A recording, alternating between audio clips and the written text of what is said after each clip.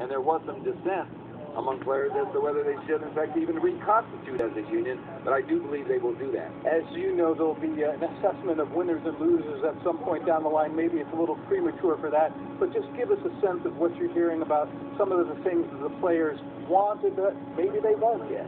But there, are- there are a lot of things the players did get, but they certainly are get, they're getting a more simplified revenue model, but a lesser percentage uh, than before. They were getting about 51, 52 percent of all revenues. It's going to go down to this range of 46 and a half to 48 percent.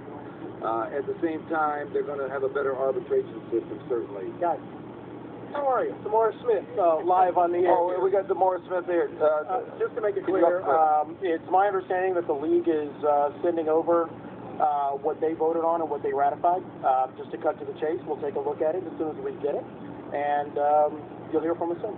What's your sense of the timing? Well, I haven't seen anything yet, so I don't have any sense of the timing. Are, are, are you All right, still scheduled for the 8 p.m. call? You know we were going to ask you another question. You're on live for, um, we have a, uh, I know it's out there that we have a call, but as I've said before, the, the business of the players, uh, is the business of the players. So, uh, thank y'all for, uh, and I know you've been, uh, sitting out here on a, on a hot, uh, Washington summer, uh, but we'll talk to you guys as soon as we have more information.